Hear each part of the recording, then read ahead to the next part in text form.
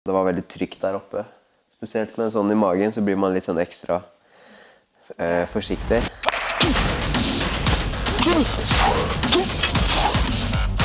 Jeg vet at det er mange som ser på meg som eh, supertøff og hardcore hele tiden. Under kallenavnet Valhalla konkurrerer Emil Weber Mek i verdens fremste og tøffeste MMA-liga i UFC. Og da er det greit å ha samboeren Andriane som sidekick. Jeg blir noen ganger litt sånn Ja, det går noen tanker gjennom hodet. Det hotte paret ble kjærester høsten 2017. Og nå er det vanskelig å stikke under en stol at om ikke lenge vil livet bli ganske annerledes. Hva er det? Ja.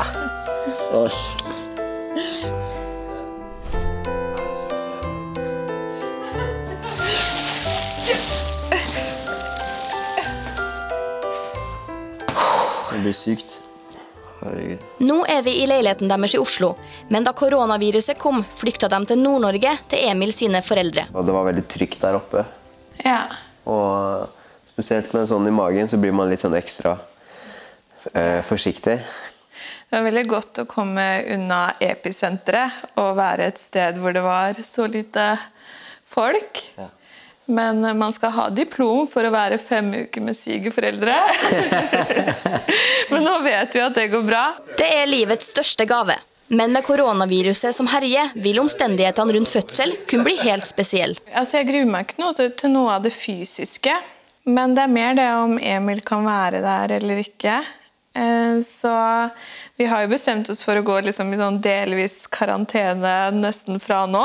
Sånn at vi unngår eh, mulig smitte og holder oss friske. Vi har jo flere Sammen. faktisk venner nå som har fått babyer som ikke har fått lov til å være med på fødsel.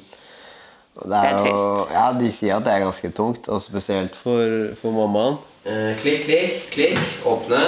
Og med termin like rundt hjørnet føler de seg nå klar for å avsløre kjønnet på babyen. Skal jeg si det? Ja. Ja, Du blir en liten mann.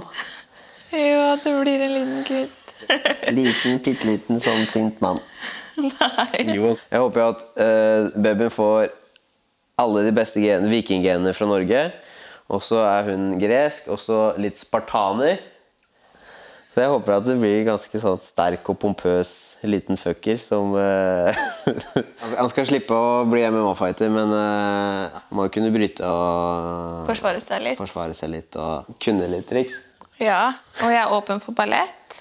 Ballett. Ja. Vi vil bare at han skal kunne være akkurat den han er. Jeg vet at det er mange som ser på meg som eh, supertøff og hardcore hele tiden, men det er jo bare én del av meg. Og så er jo egentlig jeg veldig snill. Ja. Jeg tror Andriane kommer til å bli sikkert den beste mammaen som fins. Fordi jeg har aldri møtt noen som er så omtenksom og har så mye omsorg for andre mennesker enn det du gjør.